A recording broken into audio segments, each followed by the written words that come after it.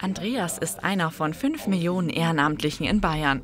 Seit zwölf Jahren engagiert er sich in der AIDS-Prävention. Und der Münchner zeigt auch, wie vielfältig Ehrenamt sein kann. Andreas verwandelt sich einmal in der Woche in Schwester Theresia. So versucht sie Aufmerksamkeit zu erregen und damit auf das Thema HIV und vor allem auf Schutzmöglichkeiten hinzuweisen. Andreas ist überzeugt vom Ehrenamt. Es ist eine ungemein bereicherte Sache für mich selbst auch. Und ich selbst habe auch wahnsinnig viel dadurch lernen dürfen. Ich habe tolle Menschen kennenlernen dürfen. Neben Beruf, neben Familie, neben allem Möglichen. Hobbys, ja, gut, ich meine, es ist eigentlich mehr ein Hobby als ein Ehrenamt geworden inzwischen.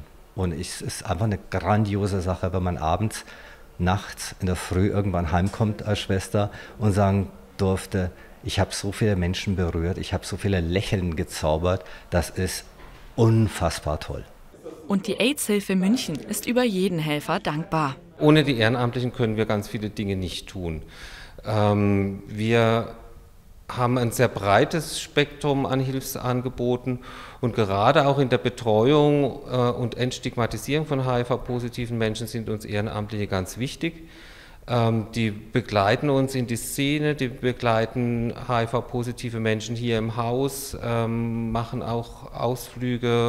Der Freistaat Bayern möchte dieses Engagement belohnen.